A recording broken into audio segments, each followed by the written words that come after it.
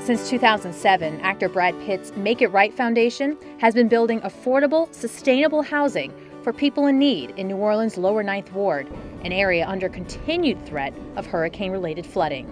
We had 13 world renowned architects come in and give them homes that really uh, met their needs and concerns. We have houses that um, showcase a 4 kilowatt solar array, allowing homeowners to gain credits on their bills. We have homes that are able to withstand 100 and plus mile an hour winds. Uh, so we're really making sure that everything that we're putting in the home benefits and positively impacts the homeowner. While every one of the homes is hurricane ready and elevated at least two feet above flood level, the aptly named Float House has a truly unique way of combating floodwaters.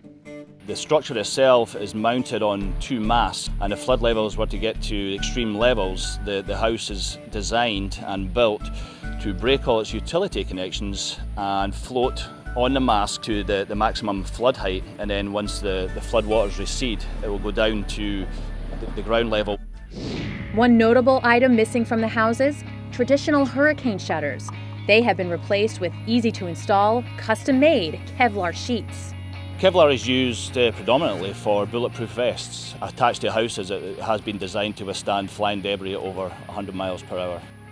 It's not just the houses that have been built using unique materials. Driveways and sidewalks have been poured with pervious concrete.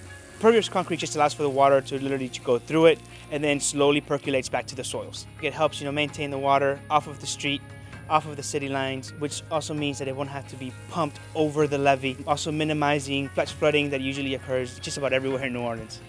The foundation's long-term goal is to construct 150 houses turning a once devastated area into a thriving, sustainable community.